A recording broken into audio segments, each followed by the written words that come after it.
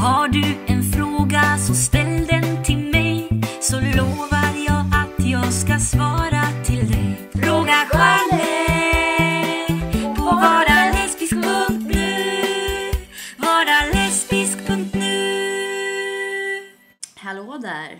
Välkomna till Fråga Challe. Jag börjar direkt med att svara på lite frågor. Eh, lite äldre frågor som jag fick för ett tag sedan som jag inte hunnit svara på för jag varit bortrest. Börjar med en fråga från Elin. Hej Challe, jag är en 14-årig tjej som bor 72 mil från min flickvän. Vi vet vad vi vill med varandra men det är ett problem. Jag lider av anorexia och lite mer så min mamma förbjuder mig att åka till henne. Min tjej har inga pengar så hon kan inte komma till mig heller. Tycker du att jag ska rymma till henne eller hur ska jag göra? Ehm, men det sämsta du kan göra Elin är att rymma dit. Eh, det kanske verkar klyschigt men man måste ändå lyssna på sin mamma. Mammor vet bäst. Inte alltid men i sådana här fall så vet de alltid bäst. Eftersom de älskar dig. Så hon vill inte att du ska må sämre, hon vill inte att du ska råka illa ut. Och jag förstår att det är fruktansvärt att behöva vara ifrån den som man älskar, den som man är kär i. Men eh, i det här fallet så finns det inget annat sätt. Du kan inte rymma till henne. Jag tror att du förstår det själv också. Faktiskt. Om hon hälsade på dig så skulle det ju fungera. Då kanske ni kan samla in pengar på något sätt. Alltså samla in, men... Jag vet inte, det finns massa olika sätt att tjäna pengar på. Man kan eh, sälja eh,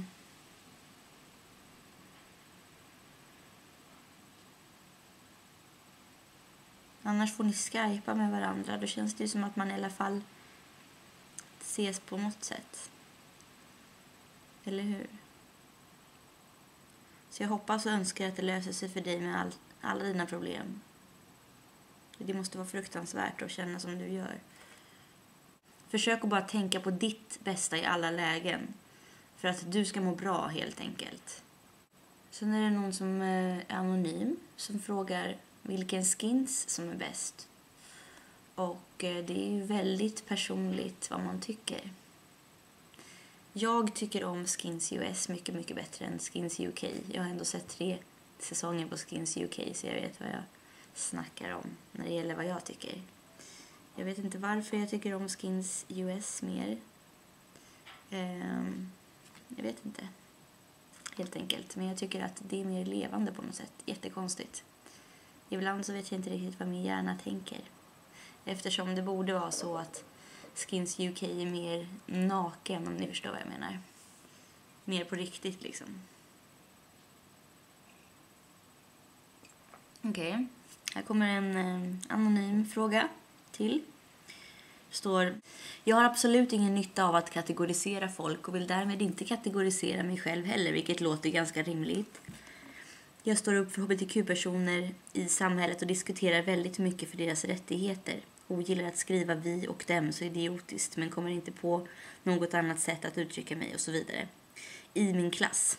Min klass vet nog om att jag inte är 100% straight och det är väldigt fine med det. Detsamma gäller mina allra närmaste vänner som delar värderingarna med mig. Jag vet till exempel redan nu, är 17 och börjar andra ring i höst, att jag vill jobba inom någon organisation för hbtq. Eh, men ja, ja, till min fråga kan man ge hintar till ens föräldrar att man inte är 100% straight utan att behöva kategorisera sig själv som homo eller bi. Ehm, de vet om mina framtidsplaner, att jag läser mycket om hbtq på nätet, har en lesbisk förebild och att jag på något sätt är trött på killar. Det borde räcka som bevis, kan tyckas, men jag tror ändå på något vänster att de inte inser, eller vill inse. Samtidigt känner jag inte direkt för att komma ut när jag inte ens vet vem jag är. Förstår du min fråga? Ja, jag förstår din fråga. Um, men det verkar ju som att du ger hintar till dina föräldrar väldigt väl. Ändå, känner jag. Med eh, alltså att du har en lesbisk förebild och att du läser mycket om hbtq på nätet och att de vet dina framtidsplaner. Så jag tror nog att de vet. Alltså, ens föräldrar vet ofta om ens läggning utan att man själv vet om att de vet. Ehm, även om de kanske inte vill inse det. Och eh, det är lite taskigt av eh, föräldrar som inte gör det lättare för ens barn att komma ut genom att säga att det är lugnt vad du än är och jag vet vad du är. Liksom, även okej, du vet inte själv vad du är men alltså att det är lugnt att du inte är helt straight. Så kan man ju säga.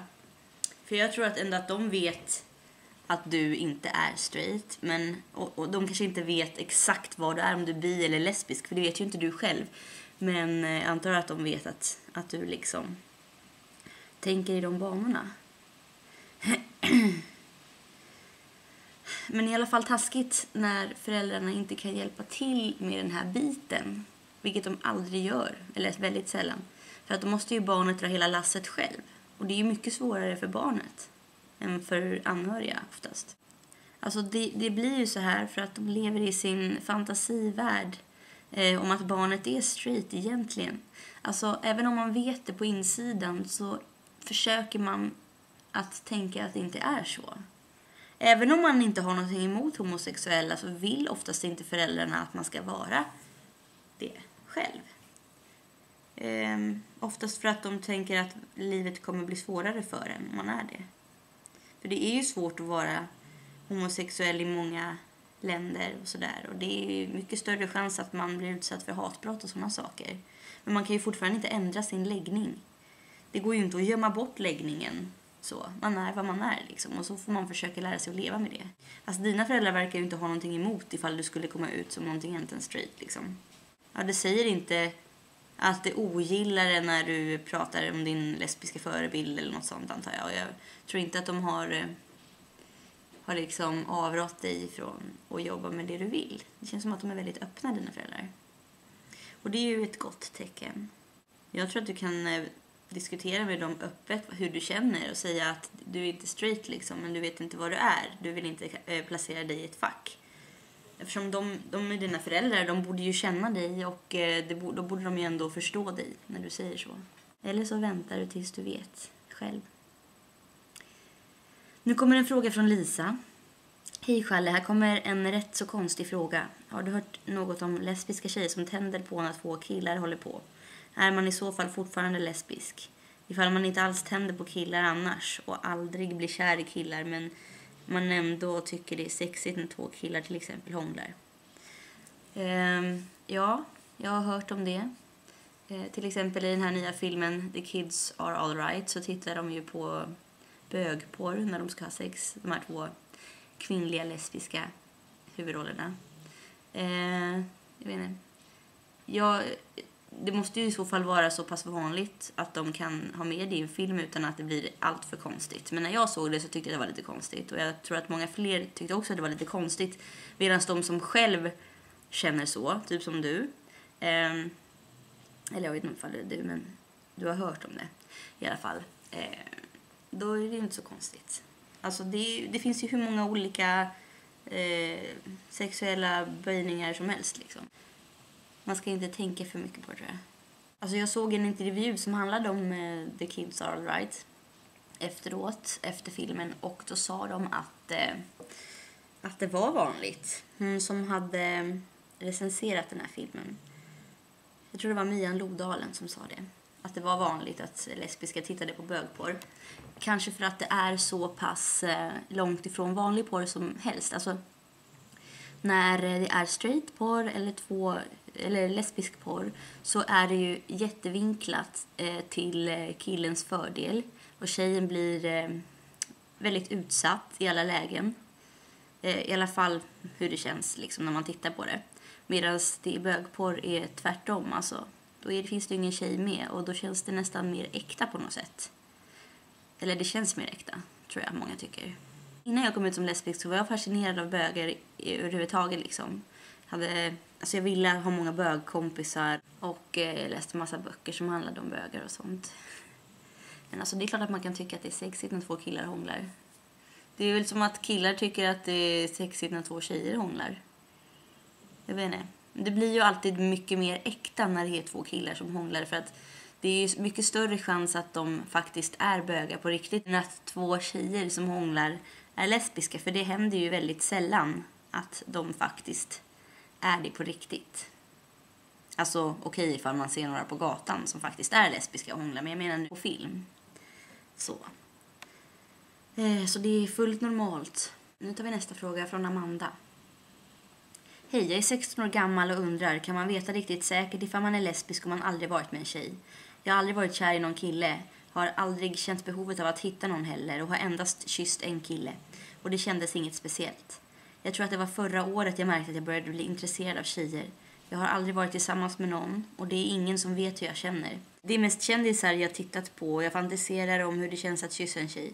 Det känns så rätt bara jag tänker på det. Jag kan se mig framför mig att jag blir tillsammans med en tjej, att vi gifter oss och bildar familj. Men som sagt, kan jag veta säkert att jag är lesbisk även fast jag aldrig kysst en tjej eller något liknande? Har ju bara fantiserat. Då kanske det inte känns lika bra i verkligheten när det väl händer som det gör i mina fantasier. Vill gärna prova med att vara med en tjej men vet inte vart och hur det skulle gå till. Ska man försöka hitta en lesbisk tjej på nätet eller hur fasen hittar man någon nice brud? Eh, Ja, men det är klart att man kan veta säkert ifall man inte har eh, varit med en tjej än. Inte alla gör det, men eh, det finns absolut folk som gör det också.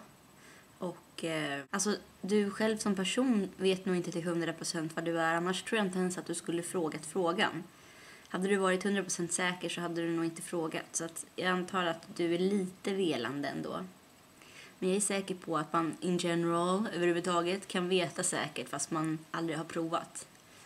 Alltså när jag kom ut som lesbisk så hade jag aldrig provat att vara med en tjej liksom. Jag bara visste det. Men om du nu eh, vill testa, vilket jag antar att du vill, så finns det massa olika sätt. Du kan träffa folk på qx.se och andra communities med eh, flator och bisexuella tjejer på. Du kan gå till RFSL Ungdom i den närmaste staden eller i din stad och träffa folk där. De anordnar ju liksom eh, fikakvällar och, och filmkvällar och massa sådana där saker som man kan gå på och träffa folk. Eh, och det finns massa olika sätt att nästla sig in i gayvärlden. När man, är väl, när man väl är där så finns det ju liksom... Det är väldigt enkelt att skaffa kontakter för att det är som ett spindelnät och alla känner alla, typ. På något konstigt sätt. Um, ja, men det räcker nog oftast med att lära känna en person, en gayperson, som, och då känner oftast den här personen många fler. Man kan åka till Pride Stockholm, vilket är nu, eh, inte den här veckan utan nästa, så kan du eh, kolla på det, gå runt där och träffa människor. Eller så kan du, vad heter det, kolla när Pride är nära dig. För de har ju små Pride-firanden på olika ställen i Sverige, så det kanske finns någon som är närmare din stad. Då har vi en eh, fråga från Rebecka. Hej, jag undrar om du vet eh, hur man, vart man kan eh, kolla upp vart det finns typ föreningar eller så i olika städer för gaypersoner som man kan gå med i. För mamma snackade om Galaxen i Piteå dit jag ska flytta. Och det är en förening för gaypersoner där man kan gå med och typ prata med varandra och de brukar anordna saker. Och de har en lokal någonstans i Piteå men jag vet inte vart jag ska kolla upp var den finns. Du kan gå in på rfsl.se eller på rfslungdom.se och eh, där står det väldigt mycket om det här och massa olika saker. De har RFSL Ungdom i Borås, Malmö, Karlstad, Östergötland, Göteborg, Örebro, Gävle, Stockholm, eh, Nord, vilket är lite mer längre upp såklart, och sen Jönköping. Eh, och eh, ja, på alla de ställena så anordnar de sådana här saker. Fast det stod ingenting om Piteå här. Eller det kanske hör till Nord. Ehm, sen om du vill eh, veta mer om den här galaxen då tycker jag att du ska fråga din mamma om det faktiskt, ifall hon har varit så snäll och kollat upp det där. Det verkar ju helt grymt kul att hon har gjort det. Alltså jag har googlat galaxen ehm, men jag får inte upp någonting. Så att eh, jag tycker du ska fråga din mamma om det. Det kanske hette någonting lite annorlunda eller så. Okej, det var allt för mig den här gången. Jag har fler frågor som jag har fått in av er som jag kommer svara på i nästa episod. Hoppas att ni mår bra allihopa. Så ses vi. Eller ni ser mig sen. Ha det bra. Hej då. Vara lesbisk.nu